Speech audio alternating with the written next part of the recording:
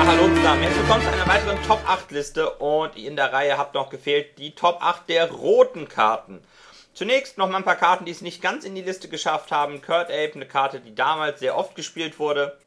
Denn er war schließlich für einen Mana eine 2-3er-Kreatur in der ersten Runde, wenn man es mit einer, mit einer Tundra gespielt hat.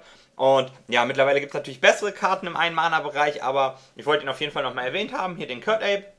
Dann Burning Wish, auch eigentlich keine typische rote Karte, weil sie eigentlich eher für Combo-Decks gespielt wurden, die mehrfarbig sind und eigentlich gar nichts mit dem klassischen Rot zu tun hatten, zu, äh, zum Beispiel Storm-Decks. Aber mh, hm, dennoch eine sehr gute Karte. Und Flametongue Kabu war früher so eine, ja, so eine, eine maßstabsgebende Karte, denn äh, Kreaturen die am Kavu gestorben sind und selber kein Kavu waren, waren eigentlich schon recht schlecht zu spielen, es sei denn, sie hatten halt einen sehr großen Einfluss auf dem Spiel. Der Kavu wurde einfach alles abgeschossen in der vierten, spätestens in der vierten Runde. Und es war auf jeden Fall eine gute Karte. Ich finde ihn immer noch sehr gut und spiele ihn auch sehr gerne immer noch in meinen Decks. Er ist sehr preiswert im Moment und äh, hat fast in die Top 8 geschafft. Auf jeden Fall eine Karte, die ich hier nebenbei nochmal erwähnen und empfehlen wollte. Jetzt gucken wir uns aber mal die ersten Plätze an. Platz oder die letzten Plätze der Liste, weiß nicht. Äh, auf jeden Fall habe ich wieder Platz 5 bis 8 zusammengefasst. Die Top 4, die ist diesmal richtig sortiert. Also Platz 1 bis 4 wird richtig nach Karten benannt, nicht so wie in den anderen Listen. Hier ist mir das recht leicht gefallen und wir fangen jetzt erstmal mit den Platz 5 bis 8 an. Wir haben Fire Eyes.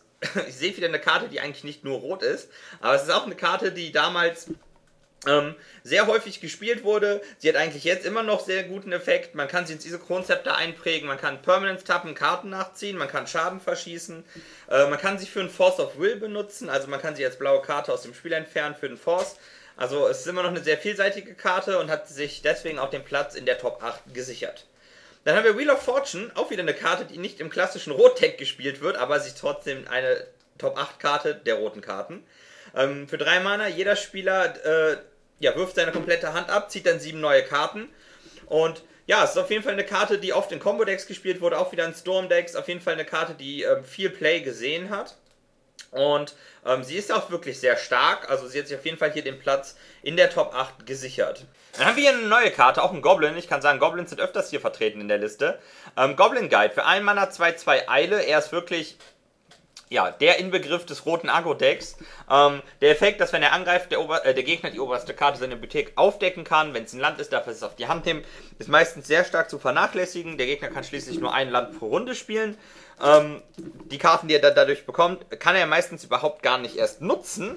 Denn der Goblin Guide baut so viel Druck auf und ich habe schon oft gegen ihn verloren, habe auch sehr viele Spiele mit ihm gewonnen. Das ist eine sehr starke Karte und ist definitiv hier im Top 8 Bereich äh, eine Musskarte, auf jeden Fall einer der stärksten Goblins.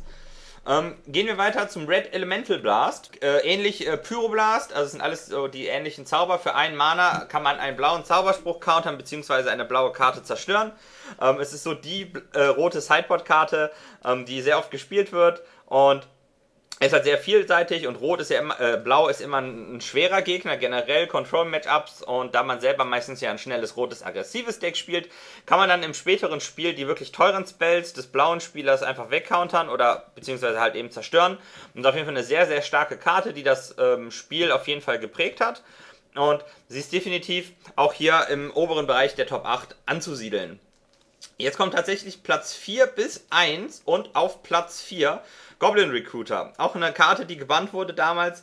Ähm, aufgrund ihrer sehr hohen Spielstärke ist es wie gesagt ein Goblin für 2 Mana 1-1. Wenn er ins Spiel kommt, kann man seine Bibliothek nach einer beliebigen Anzahl an Goblin-Karten durchsuchen.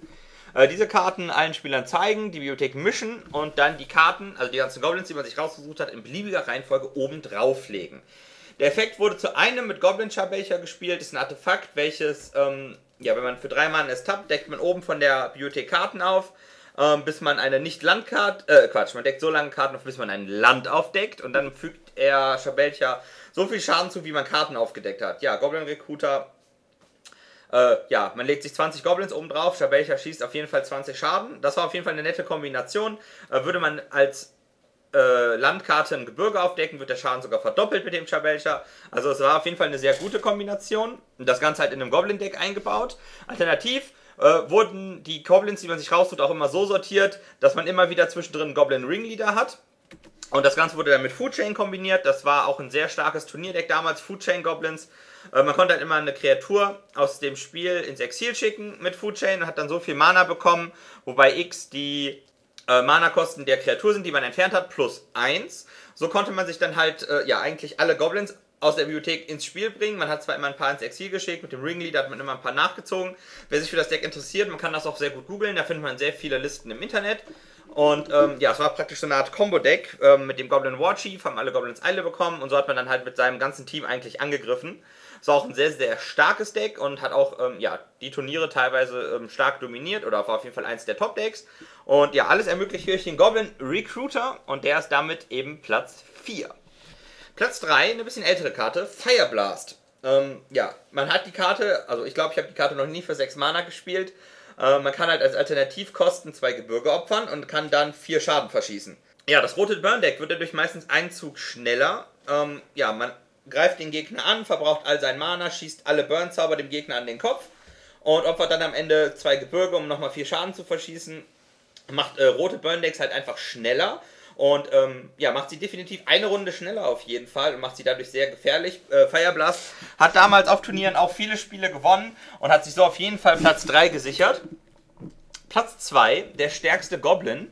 Ähm, Goblin Lackey äh, für Einmanner 1-1. Wenn er einem Gegner Kampfschaden zufügt, kann man einen Goblin aus der Hand ins Spiel bringen. Ähm, ja, das ist eigentlich die Karte, woran man erkennen kann, ob sein äh, eigenes Deck äh, Legacy, also T1.5 fähig ist. Äh, kann man nämlich gegen einen äh, Turn 1 Lecky beim Gegner gewinnen. Ja, der Goblin-Spieler legt ihn, man kann ihn nicht entfernen, der Gegner greift an, man hat meistens das Spiel verloren. Es werden einfach extrem starke Goblins ins Spiel gemogelt, zum Beispiel Siege Gang Commander.